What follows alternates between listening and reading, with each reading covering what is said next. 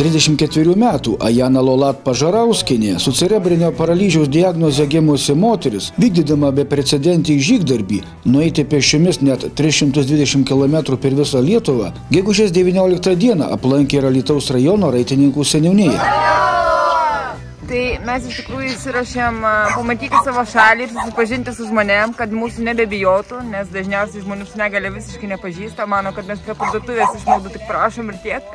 Tai norėjom, kad mus pamatytų, paliestų, nebijotų ir to pačiu, jeigu patikės idėją, padėtų surinkti lėšą šunim asistentą. Kiek kilometrų nukeliavote jau? Vakar buvo 295, šiandien grėsia su šitą gražią palydą 302. Sunki kelionė? Labai, bet e, kai yra palydos būna lengviau. Ar daug sulaukėt palaikymo? Kaip kur, Kaunas vienintelė vieta, kur nesulaukėm, visur kitur labai sulaukėm, tai fainai. Balandžio 9 pradėjom, o baigsim gegužės 25. Jau tuoj. Pasigėdot namų?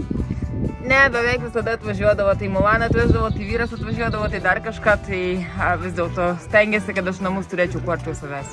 Mums labai svarbu buvo, kad mūsų nerakintų namie ir mes galėtumėm tiesiog pamatyti savo šalį savo kojom, kadangi man visada sakė, kad aš net nevaikščiosiu, tai kai sužinojau, kad galiu vaikščioti, pirma ir idėja buvo pamatyti savo šalį.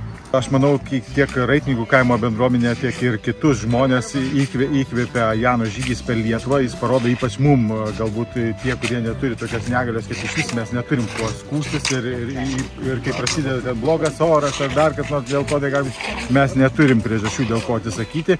Kiek kilometrų per dieną keliaunat? Apie 8-9, pradžioje eidavom daugiau, apie 11-10, bet paskui sumažinom šiek tiek, kad būtų lengviau veikti visą trasą.